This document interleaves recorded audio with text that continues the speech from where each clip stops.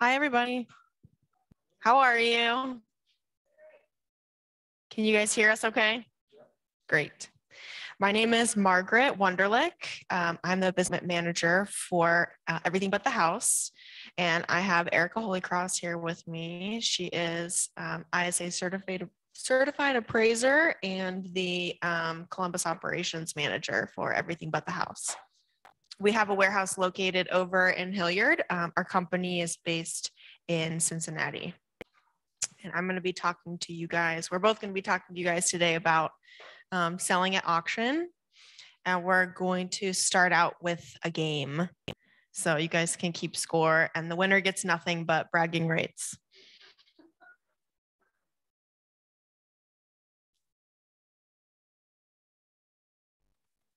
Maybe. Help. Oh, there we go. Oh no, you saw the, there we go. Well, now you saw the answer, but um, this is a game called What's the Winning Bid? And so you can guess what these items sold for at auction. This is an assortment of vintage fishing lures, $54, $146, or $205. You're geniuses. Ceramic tabletop Christmas tree. How many of you guys have this at home? $160. Mid-century modern sofa. This is leather, and I will give you a hint. It's by a it's by a nice Brazilian designer. So yes. The chairs to this set sold for like 3,900, I believe. 1988 Michael Jordan basketball card.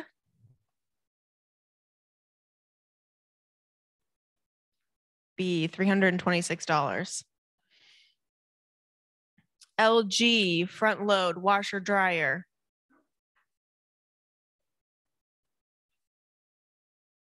Nineteen hundred.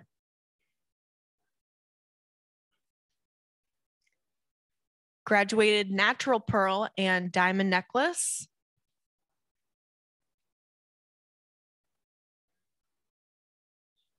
Fourteen thousand four hundred and fifty dollars.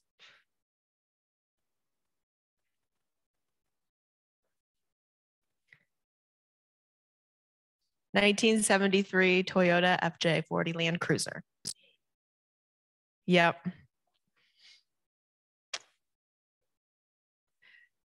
Who won?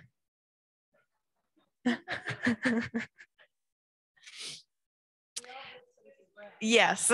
Everyone go home and tell all your friends you won. Uh, we're going to talk a little bit about defining value. Um, you might have some things at home in your family, um, curious what they're worth. Um, and there are three different types of value um, that you might have in your head. Um, first is your personal assigned value. This has to do with your sentimental value, all your family memories, um, maybe the original price you paid back in the day. Um, that is a certain type of value. And it's important to note that is your personal assigned value, and it really has nothing to do with the other two types of value appraisal value, which is the replacement value, the insurance value. You might have had to get appraisals on certain things in your home to insure them. And then there's the fair market value, which is what it's going to sell for today, right now. Um, and that is always changing.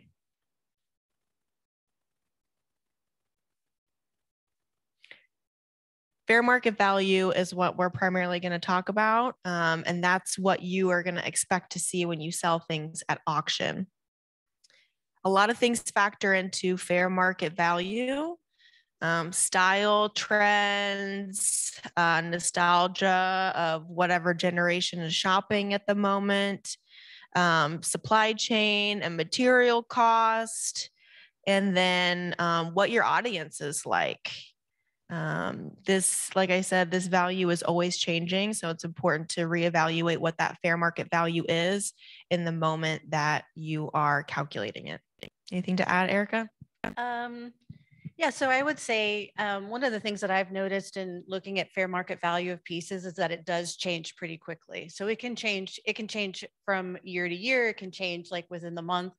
We were just talking just recently how um, we've been watching uh, things like um, hand knit blankets. So hand knit blankets from like maybe like the early 20th century, just really beautiful, nicely crocheted pieces that about a year or even two years ago were going for $5, you know, $10 are now the cost is going up. We're watching it go to $50, $60. So we're watching that trend. I don't know where that trend's coming from, but it's watching that trend because it's really interesting to see that.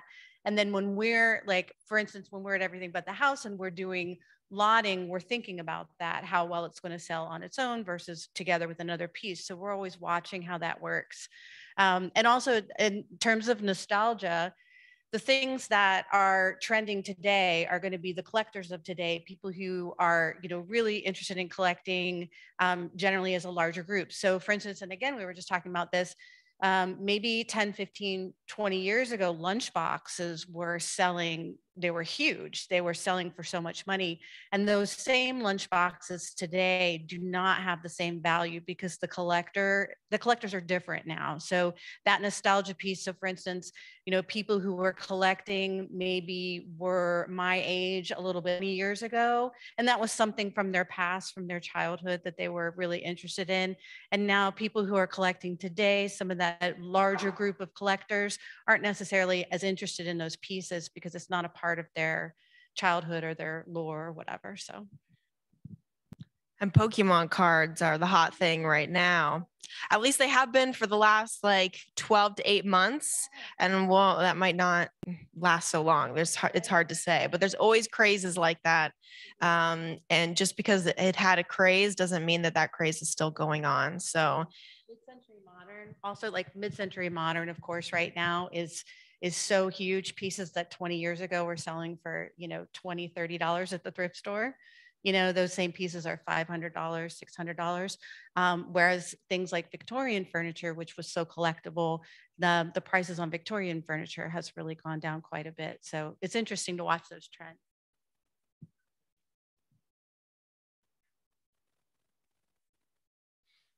So when you're looking at items in your collection or um, in a family member's collection, um, and you're trying to evaluate it, um, it's important to um, look at a couple different things. First of all, your market. Um, are you wanting to sell this um, on a local level, at a local consignment shop, at a garage sale, um, on Facebook Marketplace? Are you looking to sell it um, at more of like a regional or national auction house? Is this going to be listed online, um, on the internet where lots of people can get to it? Um, what is your market like? And then define the item. You need to find out uh, the brand name if there is one, how old it actually is, um, the condition. Is it scratched up? Is it missing parts? Um, what's the material?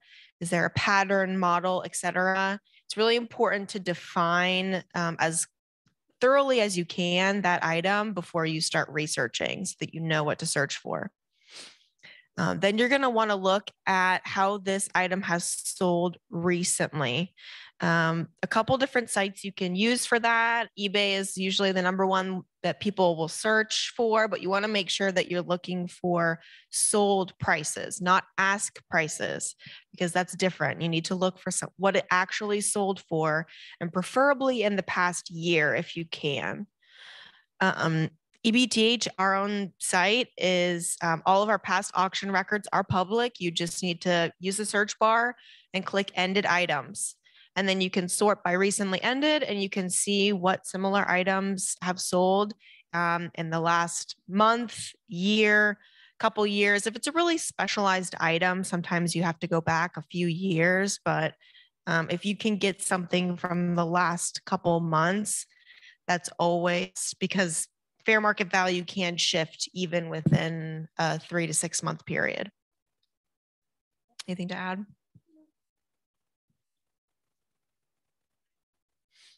So we talked about this a little bit, but I wanted to go over a few marks that we're seeing. Um, and these are just a couple of um, sales from the past few months to kind of give you an idea of what's hot and what's not uh, on the market right now. So we have um, painting over here um, from about 1860. Um, has a gorgeous frame, um, and that's sold for $425. Um, this offset lithograph, um, I don't see any addition on there. Um, it, it Pat Buckley, Buckley Moss, $40 offset lithographs are typically lower value and especially if it's not like signed in edition print um, prints are going to be a little tough to sell. That's also an example of a like changing in the fair market value. I don't know those of you that are familiar with the p buckley moss prints that maybe five years ago they were selling at least on our site they were selling for over a hundred dollars but now they're selling much lower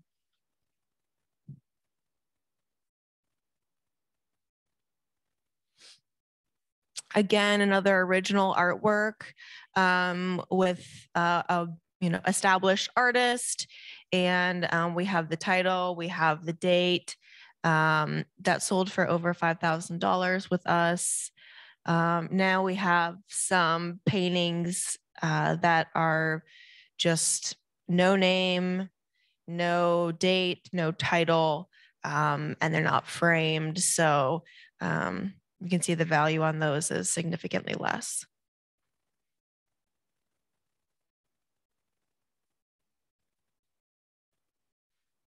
Um, signed first edition books are things that are uh, definitely collectible, um, particularly certain authors and genres.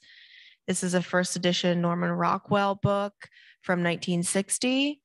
Um, with everything but the house, we do third party authentication on all of our autographs through JSA.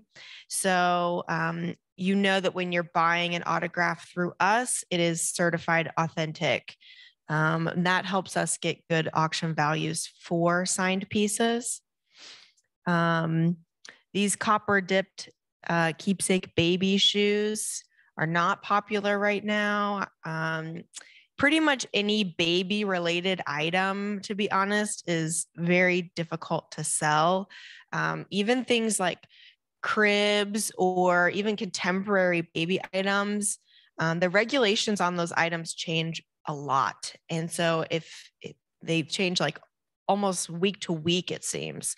So if you are trying to resell a baby item, a company like us, we can't sell it unless it's truly antique because it's not within regulation um, and just kind of baby stuff in general. People prefer to buy new, and it's not a good thing to sell on auction.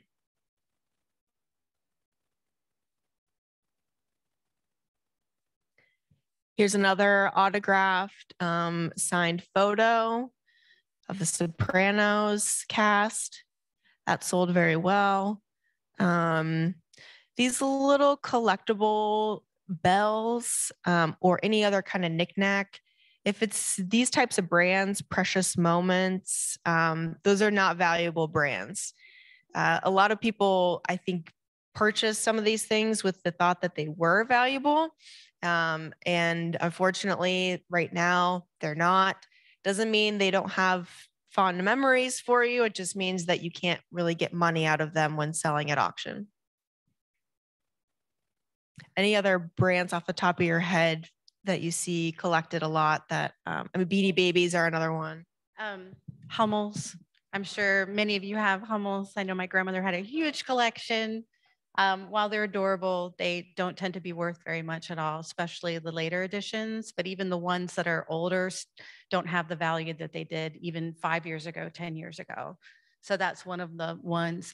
I would also say, too, a lot of things that are collector, like if it says collector on it, it's probably does not have very much value. And not it's not that's a generalization, of course, but like the collector plates and those kinds of things, coins, collector coins. So if it says collector, it's very likely not something that's going to have a lot of value. That's not always true. So don't take me to the bank on that one, but generally it is. Yeah, that's a good point.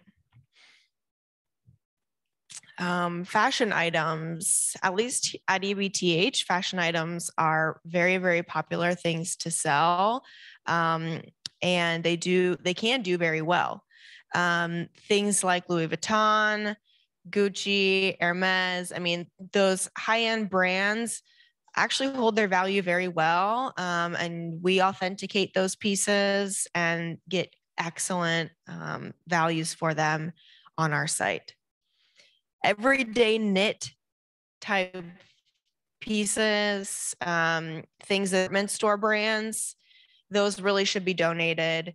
Um, you can't get very much money out of those. Even if you take them to a local consignment shop, it's really pennies. Um, so it's a good excuse to buy the really nice brands because you know they have good resale value.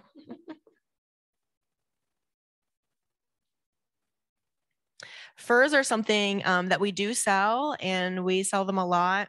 The best time to sell your furs is between like January and March, I would say. Um, that's when we get the best values for our furs. Um, and we are still selling them. They are still selling very well.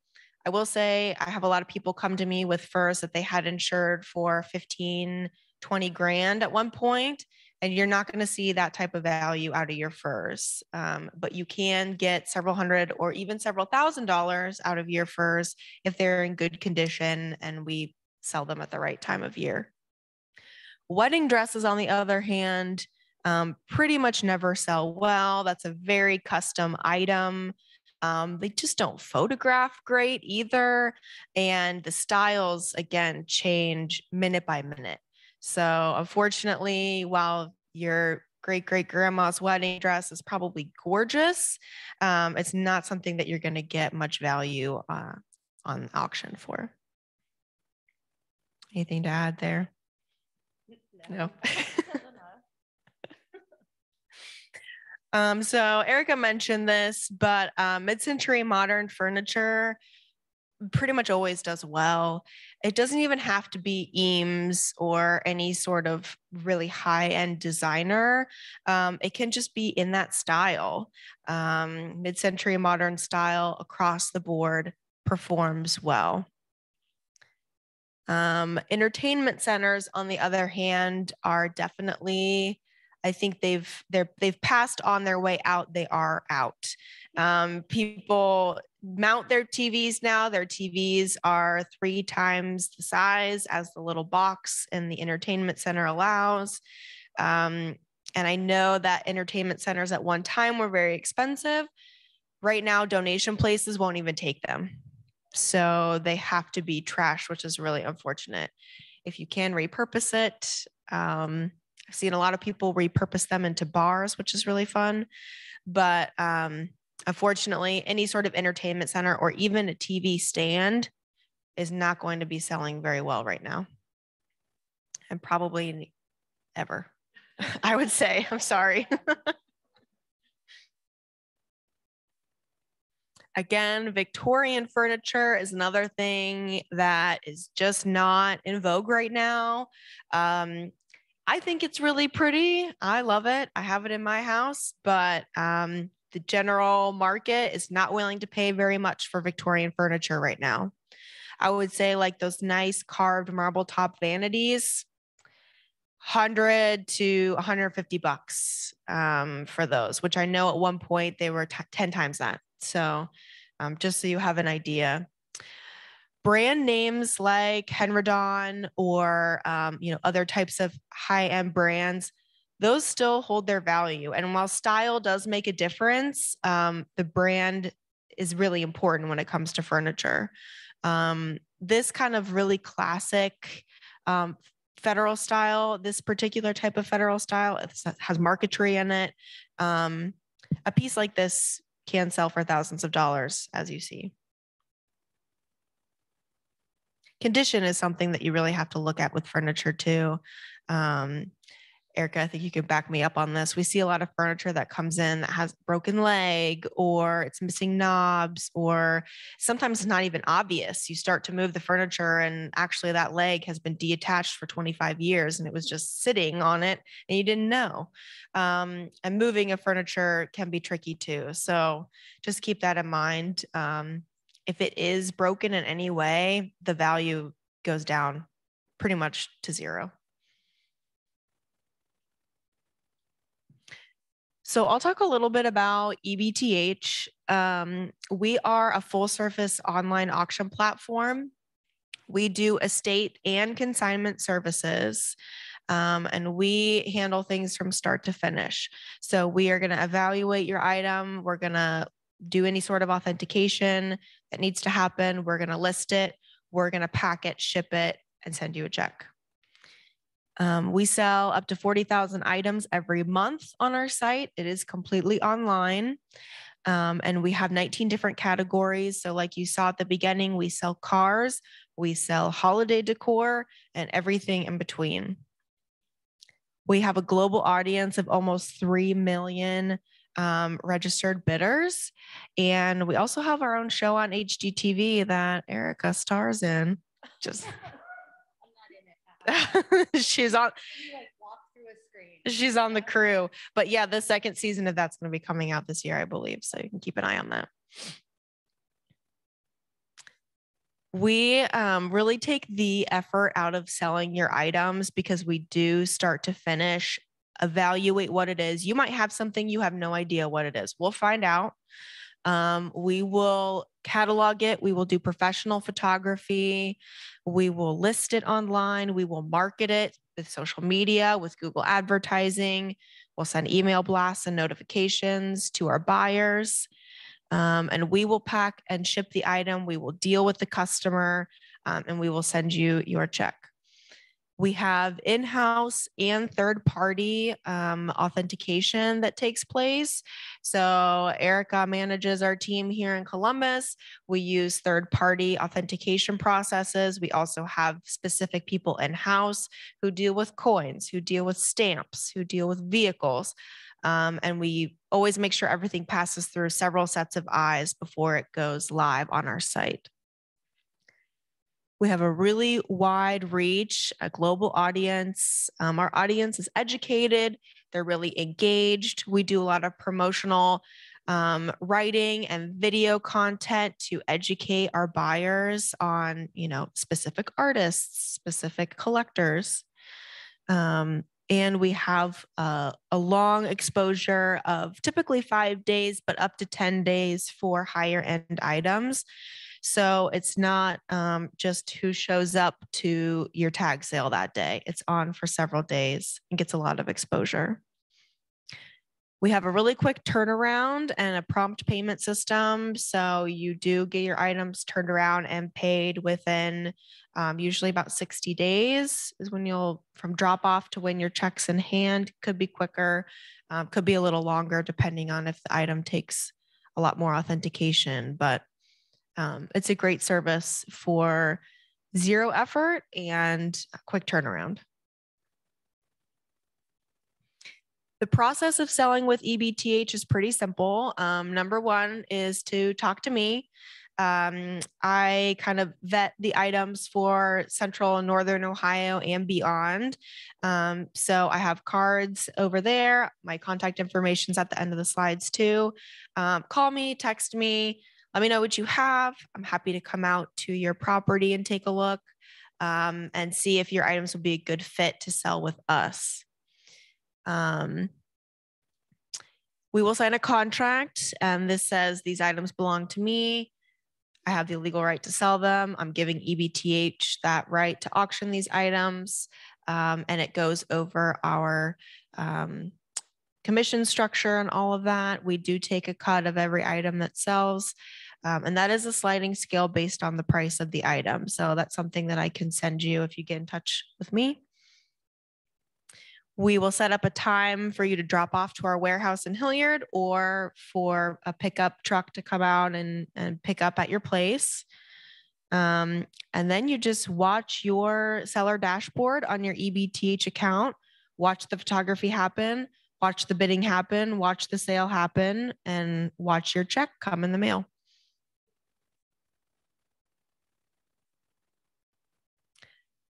Just a few things that um, we're always looking for. Coins and stamps are something that make um, our sellers a lot of money because you probably have a box full of them laying around the house and um, you never know what could be in there. Coins are very, very hot right now and selling very well with us. Jewelry and watches are another thing that everyone has a box of family jewelry, watches, and it might just be all costume. Even then, we can sell it and we do get really good values for costume jewelry. Um, but you never know. I've had a lot of people bring me what they thought was a box full of costume jewelry that was actually all gold and diamonds. And then they just made 20 grand. So it it can be worth getting some eyes on it that know um, what to look for and can kind of give you an idea of value. And I do that all the time. Come out to people's homes, look at their massive jewelry collection, let them know what they've got, um, and then, you know, sell the pieces that they want to get rid of. Name brand fashion, houseware items, even like cookware, like your KitchenAid mixer, um, your Le Creuset cookware, um, that is valuable and can be sold. Um, quality original art, furniture in good condition, um, good brand and in a style that is desirable right now, like mid-century modern. This is my contact information, and I wanted to see if you guys had any questions. We can also pull up the EBTH website and um, can I show you guys how to navigate it a little bit? Um, Erica, do you want to talk a little bit about um, appraisal and kind of fair market value and how you can use EBTH to look that up? Um, so uh, as I was studying appraisal, so I've been doing appraisal for a while, and then I decided to go ahead and get a certification just to kind of have the credentials and to learn the extra pieces and parts. Um, and one of the things that I discovered through that is that um, everything but the house is used for by a lot of appraisers to determine fair market value for different items, which is really exciting to hear that. That um, and a lot of that has to do with the fact that we have such an incredible staff um, of experts. We have so many we have so many people in Columbus and also in Cincinnati in our main area who are we have experts in pretty much every area. So um, it's really exciting. Like I know in the Columbus market, we have people who are experts in art. Some people are experts in prints and multiples, others in painting. We have a fashion expert. Um, and I know I just was down in Cincinnati last week, which was really, really fun to be down there. And I was able to take a tour of the, we have a whole gemology department, which is its own separate building.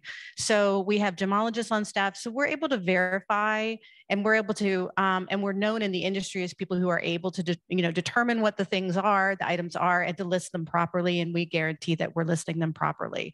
So that is in part through our own experts, but also through third party authentication when we need it, especially for things like um, autographs and that sort of thing. So um, I think that's a really exciting, I think that's a really exciting piece um, of being able to look at our site to say, like, honestly, that those are fair market value prices for the most part that we're able to get for your items. So this is ebth.com and you can browse um, by category, by sale, um, by what's ending, by what's popular, and by what's featured. Um, would you click on categories for me? You can exit out of that. You do not have to have an account to use our website.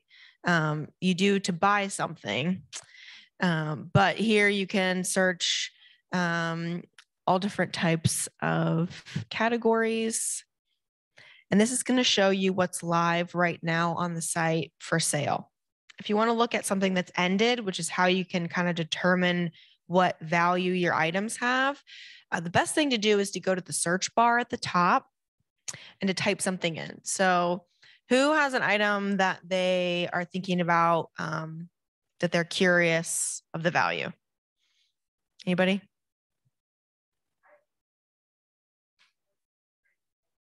Great. Perfect example. So I would type in um, first edition Sports Illustrated.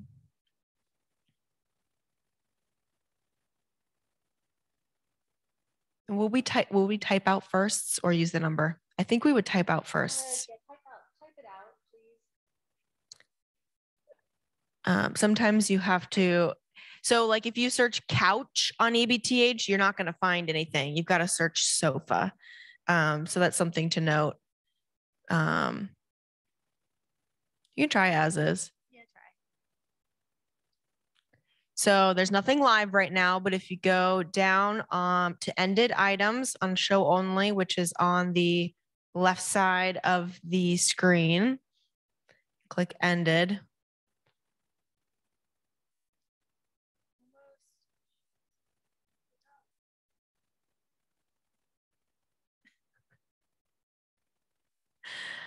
Um, looks like there's just a couple. I bet we need to type out firsts.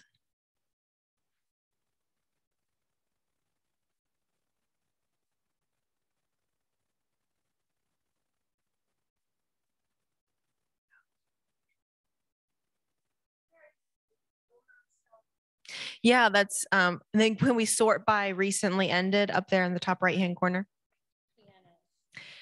Pianos are really tough to sell. Um, if we're going to sell them, they've got to be an in home pickup item because they're just too hard to move. We don't sell ivory of any kind, um, we do not touch ivory. Um, right now, we are not selling Playboy magazines. We have sold them a lot in the past. Right now, we are not selling them. Um, we don't sell pufferfish, which I learned um, we don't sell um, certain types of like sand dollars, or it's it's all regulation. There's a lot of regulations on that type of stuff. We don't sell any any. We don't sell any Nazi memorabilia, and we also don't sell Black Americana. Yeah, if we determine that's the messaging or the content of something, perhaps um, an outdated Dr. Seuss book has um, terminology or content that's against our brand standards, we won't sell it. Um, so that's a little bit up to our discretion, but just keep that in mind. I'm not sure that I'm not seeing anything. I don't see anything that's actually uh, Sports Illustrated. Maybe we should just look search Sports Illustrated. Yeah, Sports Illustrated because it might not be in the title. Yeah. Mm-hmm. And if we're selling Sports Illustrated magazine, it's likely that it's supported. So there's one that's live.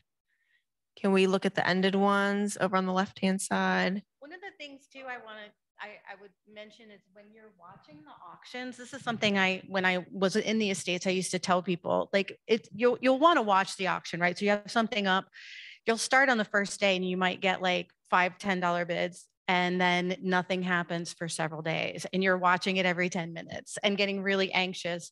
I would say the majority of the action takes place in that last hour. So you know and that's true for especially for a lot of different things like art art bidders tend to art to bid at the last minute. Jewelry and coins is also like that. So i just wanted to share that. So because I, I, heard a gasp at the three dollars mm-hmm. but that may not be where it i was shopping for uh, jewelry last night and this really beautiful ring that I wanted that was 60 or 70 bucks sold for I think $900. Yeah, I was out of the I was out of the game on that one pretty early. so a first edition Sports Illustrated, I would think that that would be pretty valuable. Um, I see some signed Sports Illustrated.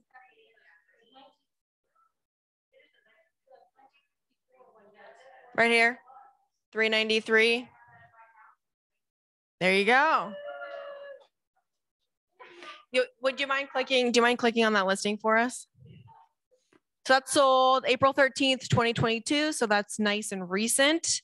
Um, love that. So that's a good, that's a good value.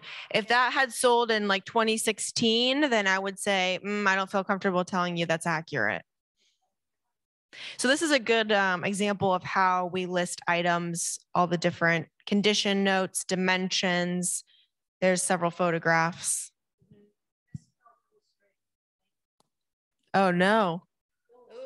Yeah, so that happens. We do have a we have a team of editors who go through everything, but of course you can imagine they might miss a word or two. So um, they go through and they make sure that the content is correct. So we have like several eyes on the same pieces, but every now and then a typo. Found it immediately. though too because if you found it immediately someone else probably saw it also. And so you know it's those things and um, it's just really important to us to get it right on. But again human error is going to happen. Anybody have anything else they want us to search for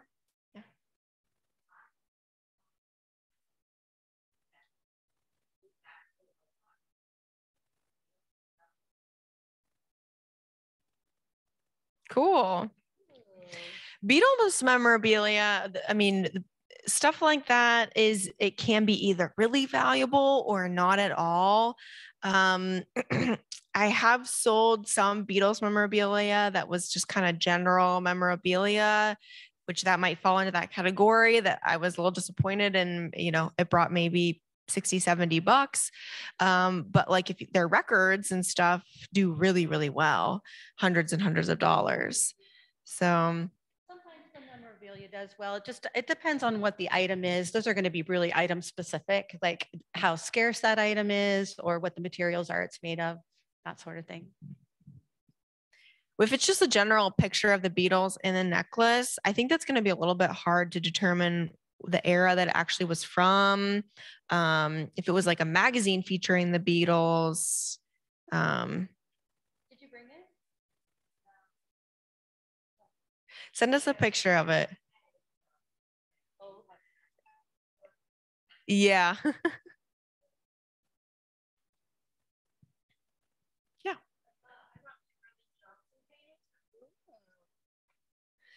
Should we sold a number of Roman Johnson pieces here. In fact, we actually sold a large mural to the um, museum. So um, uh, yeah, we can. Yeah, go ahead and type it in. Mm -hmm.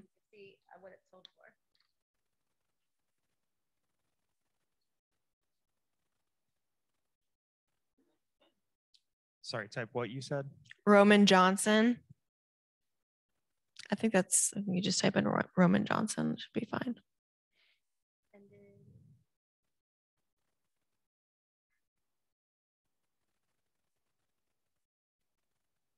So if you scroll down, you'll see the mural. There's the Can you sort by recently ended?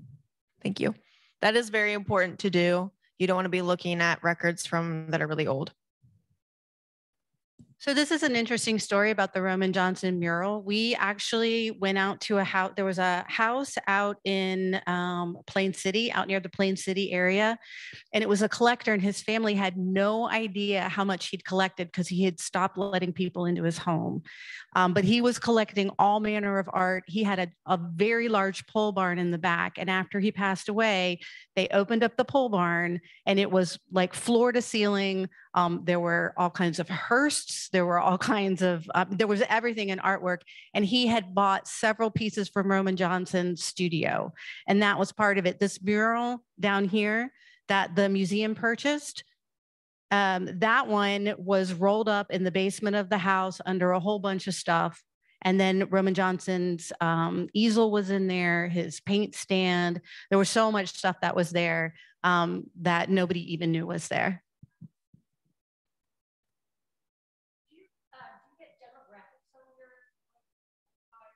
Mm-hmm.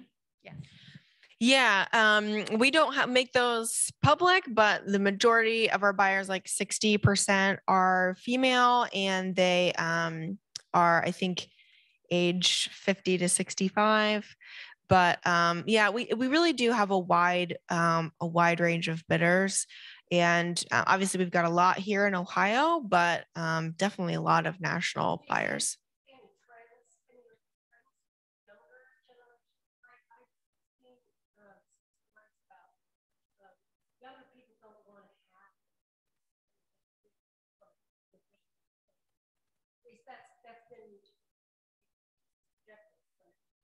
I mean, I think in general, yes, if you're to walk into the home of a 35 year old versus a home of um, a 30, you know, a 35 year old in 1995. 1995, they probably had a lot more knickknacks and like that type of stuff. But I do think that like the millennial generation is buying a lot of fashion, right? They're buying a lot of um, uh, what what's else? I mean, they might be buying some sort of collectible things. They're definitely buying technology. So um, I think they are buying furniture for their home. They're probably not buying figurines. They're probably not buying china. Um, and that's you do see the market be pretty low on those types of things. They're not buying Victorian furniture. Um, as you can see, the market on that's pretty low. So, but like, you know, Louis Vuitton and Gucci is through the roof. They're buying that stuff. So, and mid-century modern furniture or really contemporary um, industrial styles of furniture. So I think that that generation is buying. They're just specific about what they are buying, um, and you know, things like China and crystal and that stuff. The market is down.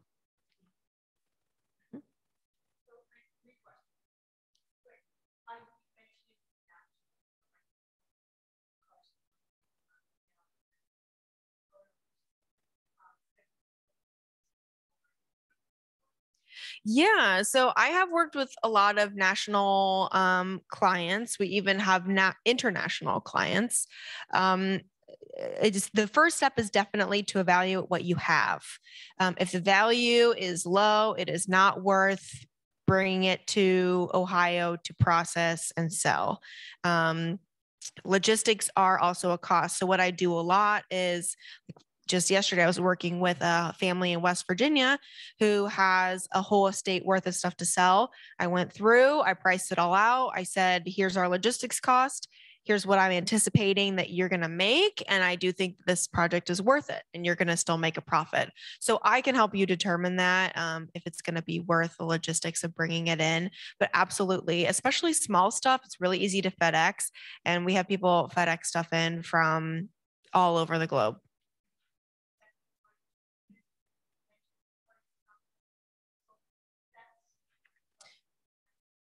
So sterling silver is always valuable.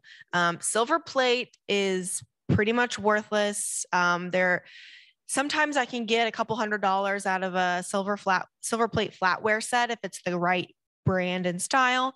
Um, I sometimes can get a couple hundred dollars out of a silver plate tea set if it's really, really nice and fanciful and clean.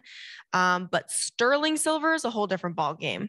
And if it truly is sterling silver, a tea set, a flatware set, thousands of dollars. If it's Tiffany and Co., it could be tens of thousands of dollars.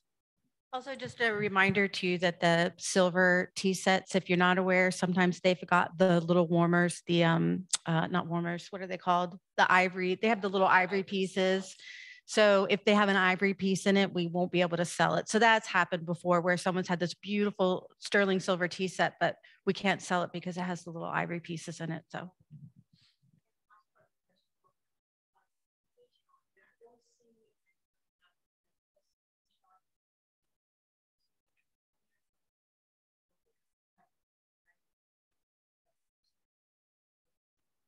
I see a lot of that um, art in my day to day. And I will say, we sometimes can remove the ivory on your sterling tea set. I've done that before. We can remove it.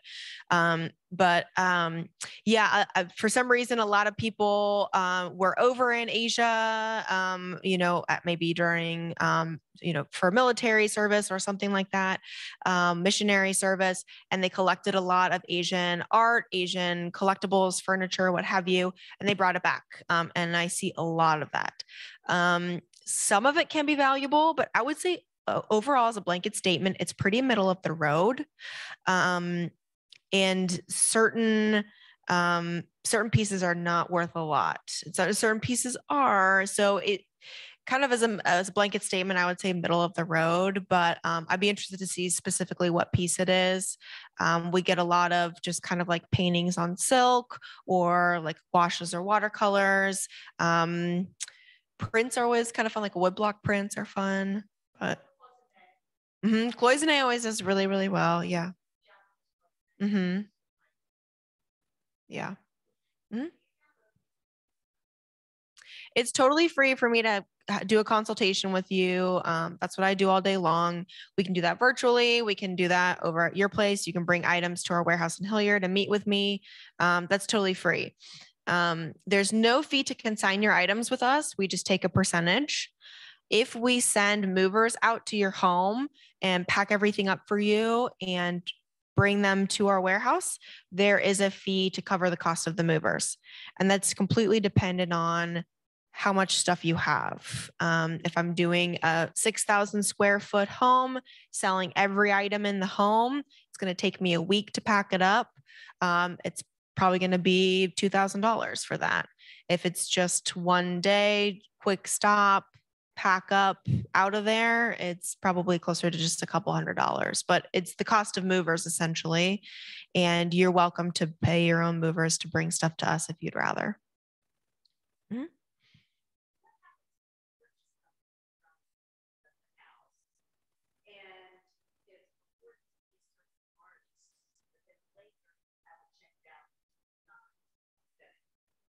Answer that question. So um, we do our best to authenticate and guarantee everything that we have, but we do, there are times where even we're fooled, our experts are fooled, and that has happened before. That's happened with a, a jewelry piece where we thought it was one thing, but then to find out it was something else. It does not happen very often, but when it does happen, we offer a credit. So we stand by what we sell. So it's not kind of a, it's not one of those buyer beware situations. I know that there are some auction houses that are like that. I've purchased from them too, where they're like, we think it's this thing. so hopefully it's that thing, you know. But we, if we've said it online, if we misrepresent something, um, we will either give a, we'll give a credit of some kind or, you know, do something to make it right. And you will see our listings are extremely thorough for that reason. Um, a lot of people who sell with me, why are they listing every little nick and every speck of dust? Um, it's just really important that we're very thorough and honest with our listings. It's not going to affect the sales price. That there's a couple of nicks, but it is important to us that we list things um, truthfully and honestly.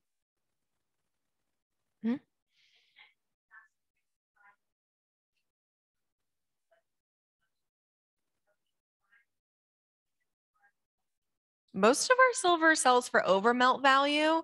Um, so that tells me that they are buying it and using it. Um, but I will say a lot of times people think they have sterling and it's actually silver plate. Um, sterling, true sterling silver is not common. Um, I don't see it in every home.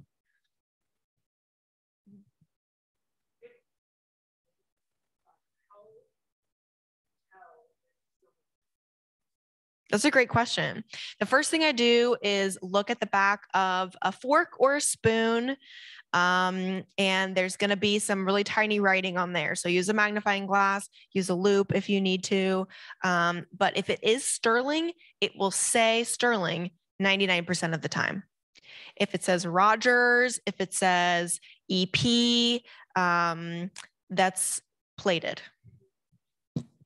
Also for um, for silver, for European silver, it's not necessarily going to say sterling. It's going to have a mark, um, and then you'll have to look at the marks. There's certain marks that will determine that it's sterling. So there's German marks and English marks um, that you'll want to. You can look up online. They have whole. Um, uh, uh, um, what's the word? I'm, yeah, they have like they'll have like a whole place where you can look and see all the marks for those majority of what I see is um, English and um, like or American um, brands, and so that will say Sterling on it. If you start seeing like square stamps that are just pictorial marks, that is something that's from the UK, and then you'd want to look up those pictorial marks to see if it is Sterling.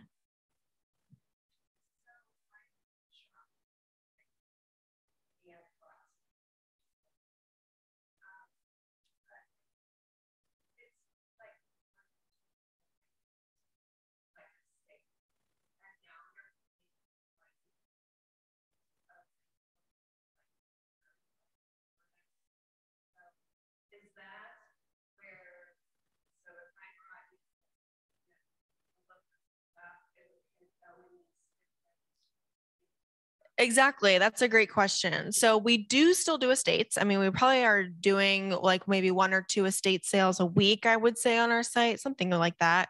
Um, but a lot of people, um, they just have a car full of stuff to sell. Maybe they're bringing us stuff every week um, just to clear out their home. Um, a true estate sale only works when it's uh, a, a, good amount of items and it's a well-rounded sale with furniture art decor um, you know collectibles a good range of categories and so if the items you have don't meet those um, specifications, they're going to be put into a curated sale. And we do really fun curated sales around colors, holidays, specific categories. We always do a May the 4th be with you sale, which is really fun of Star Wars items. So um, the, it's not to say that one is more successful than the other. It's just a different way of marketing your items. Um, and it's completely dependent on what works best for you and your situation and your group of things.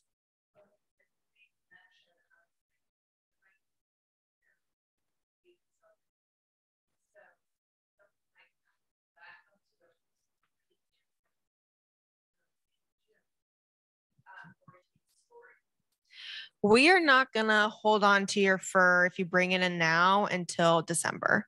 Um, that would be something I'd say you can sell it with us now, or you can just wait and sell it with us in December, and you'll probably make more if you wait and sell with us in December. But that's up to you. Um, from the time you bring your items in, it's usually 30 to 60 days for them to go online.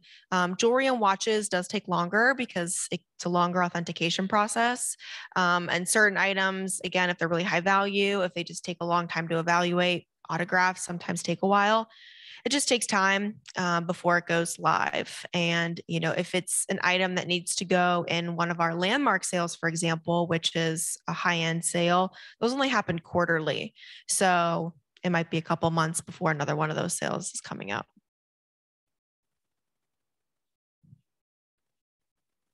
Yeah. Mm-hmm.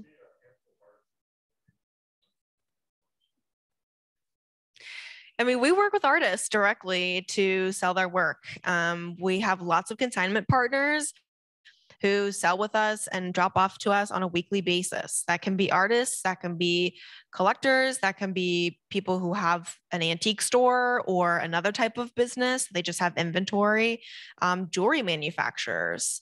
Um, lots of people in those industries sell with us regularly. They use us as an avenue to um, sell and market their inventory, um, and they make a lot of money doing it. So uh, it's a great uh, partnership for a lot of businesses and artists alike.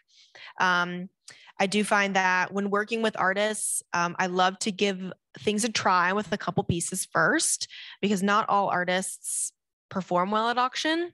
Um, but we've had artists like this individual from Atlanta who was selling his work for really low prices tried a few pieces out with us on EBTH and they sold really, really well. And now he pretty much exclusively sells with us because we get great prices for his work.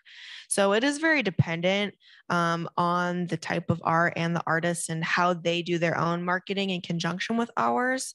Um, but I would love to, if, any, if there's artists who want to sell with us, um, work with me so I can make sure your art gets put in a, a particular sale and we market it correctly um, so that we really get do it a, a good service. Yeah.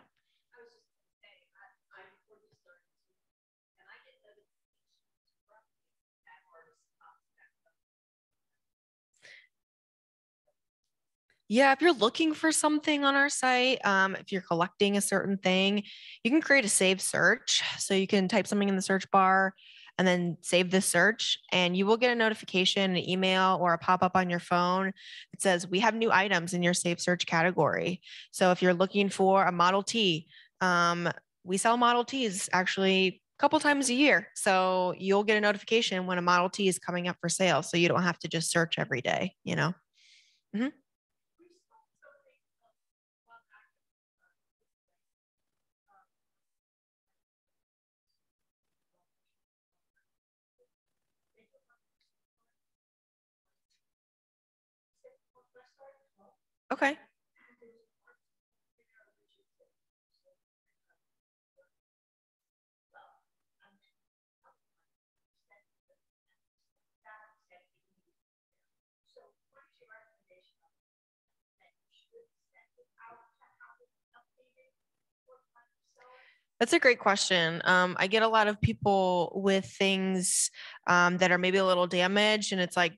do I spend the money to get this repaired? Um, definitely run that by somebody first um, and maybe have them run up an estimate for you of what they think it would sell for so that you know you're still going to make a profit. Um, I know, like, if I see a rug or something and they're like, oh, I'll get this professionally cleaned and then sell it. So I'm always like, ah, if it's going to cost you $500 to get that professionally cleaned, I don't think you're going to make your money back. Um, or it's going to eat so far into your profits that it's not worth it. Um, some furniture items that can be worth getting repaired, but some not. So it just is really dependent. And when I, I usually would come up with an estimate for what I think it would sell for if it were repaired, and then get a quote for the repair and see how that's going to eat into your profits.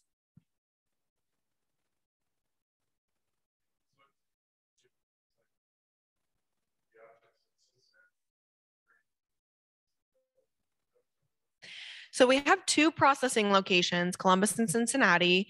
Um, when you are shopping on our site, it'll tell you where the location of the item is. And um, you can get it shipped to you, or we just started. Um, now we will transfer it for you. There is a small fee for us to transport it for you up to Columbus if you want to pick it up here, um, or vice versa. Um, so just pay attention to that when you're shopping where the items are located. Um, and uh, logistically, a sale is usually one location. So if it's a any sort of sale you're shopping, every item in that sale is in one single location. So if I have an item in Columbus, but I want it in the May the 4th sale, and the May the 4th sale is Cincinnati based items, I will have it sent down to Cincinnati to be in that sale. That's at no cost to you for the seller. That's just really log- logistical thing on our side. Um, but that's why you'll see different items be in different locations.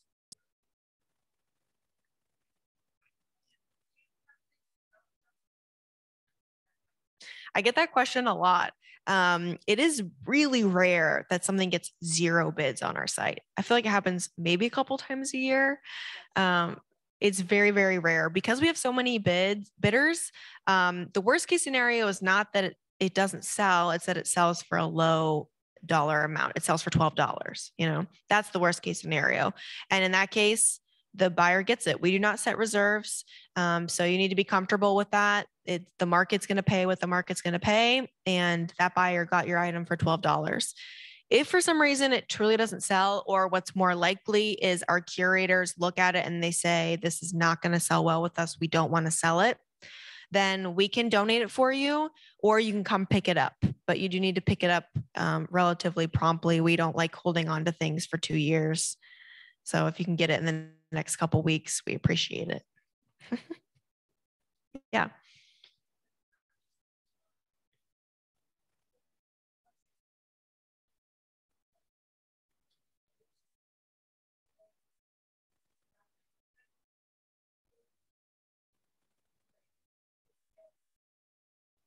Yeah, well, we're absolutely happy to do that for you and hold your item for another week so you don't have to make multiple trips. Um, there's a number at the very bottom of our website that you can call. Um, there's also an email. It's just contact at ebth.com um, and they will help you. It could take 24 hours for them to get back to you, but um, there's always a grace period and we we send scary emails auto- automatically, but we're not trying to throw away your items. We don't want to do that. Um, and I know at least here in Columbus, we hold on to your items and we try to contact you before we forfeit them. Um, we really don't like doing that. So yeah, absolutely can be done. The information is just at the very bottom of the website. Also, if you're struggling to reach someone, just call me, take one of my cards, call me, text me, and I'll make sure you get in touch with the right person.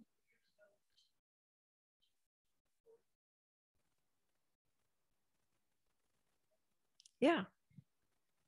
Mm-hmm.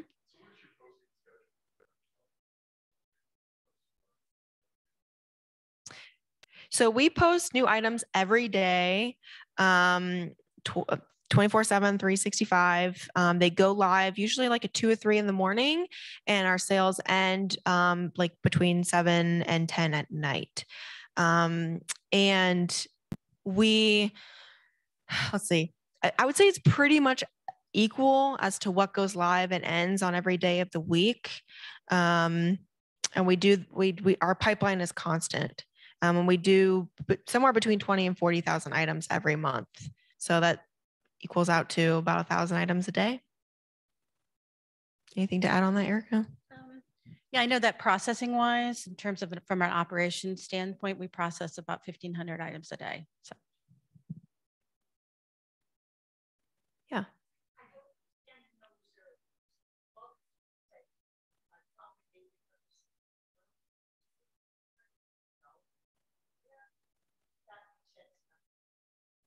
It's the way that we operate as a company, and it's our unique model. Um, it is fosters a lot of engagement with bidders. Um, so people get in on the ground floor, they get excited, they get attached, um, and you know we are in the business of selling things. Um, we don't want to put forth all the effort into listing something online only to not have it not sell. Um, you know it is a it is a um, specific strategy for things that you really want to sell. If you don't want to sell it if unless you can get a certain amount of money out of it have that conversation with me and we can see if your expectation is realistic. Um, because i don't want you to be unhappy with the value you get and i can usually give you a pretty accurate estimate about what things are going to sell for. If it's possible it sells for $10 i'll be honest with you and, and let you know that that's a possibility. Um, we sell everything with this model starts at a dollar um, $500000 rolex watches cars i mean everything you saw at the beginning all of that started at one dollar. Mm-hmm. we sold a Josef Albers painting that closed at what wayne we sold a, jo- a Josef Albers painting that uh, closed i think at 185000 but it started at a dollar so we could all bid on it and feel like we had a piece of it. the underbidders are very important. Yeah.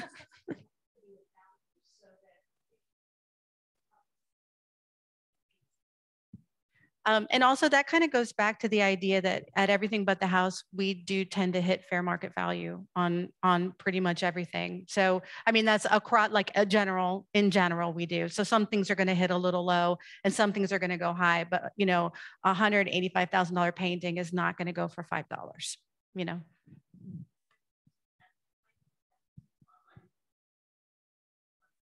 Something that's interesting about reserves too is that they sometimes can stifle you know if they if the reserve is public or you know um, it kind of sets a perceived value. But i know for certain things um, the the seller would have set a, a, a, reserve very low but we went well beyond that reserve. And we might not have if the reserve had been public. People would say oh it's only worth that much.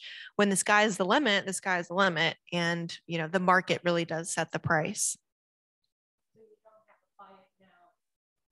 We don't. We've talked about it, um, but it's not something that I mean. Uh, the way that we operate this model is so tried and true that, um, and, it, and it's a really good way to move the inventory. I mean, that's why you're using us is to move the inventory, and you do need to be comfortable with accepting what the market is willing to pay for it. And I'm happy to give you an estimate. I do that all the time, but you do have to be comfortable, and you do sign a contract that says I'm giving you permission to sell this and there's no reserve and it's an absolute auction.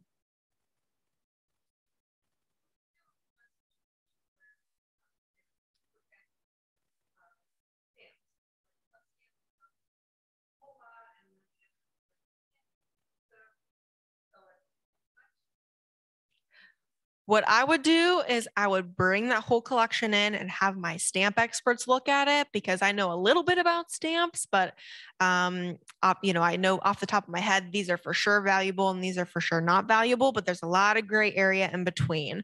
And so we have people that research and that are stamp experts that do that all day long, and I would give it to them and they are going to separate it out. So they have a whole collection. They're going to lot things to try to sell for $150 or above um, that's where you and I both make the most money. So when things are selling at $150 or more, that's where we want to be. That's a good spot. And we're going to separate out groupings that are going to hit those values.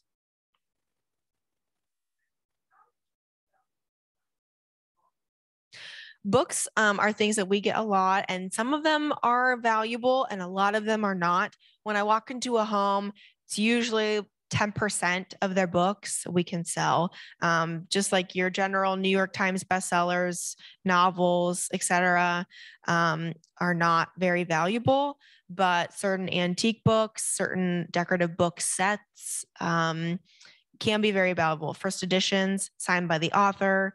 Um, if you have first edition Harry Potter books, those are very valuable. So it, it's really case by case. Um, and we usually look at um, like I'll take a picture of that cover page with all the information on it. Um, and I can use that with a couple different websites to kind of come up with a good value.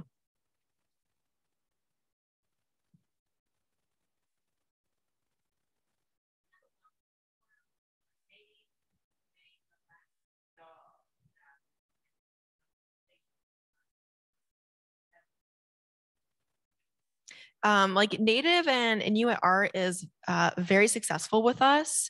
Um, I always check for ivory. Now I know we can sell walrus tusk as long as it was made and can be authenticated as made um, from like a native, um, you know, person. Um, but yeah, that'd be just a red flag to look for. Um, but yeah, that stuff is is very successful with us. I would say with pieces like that also, if you have any provenance or if they're signed in any way, that that would also be, you know, help to add to the value of the pieces.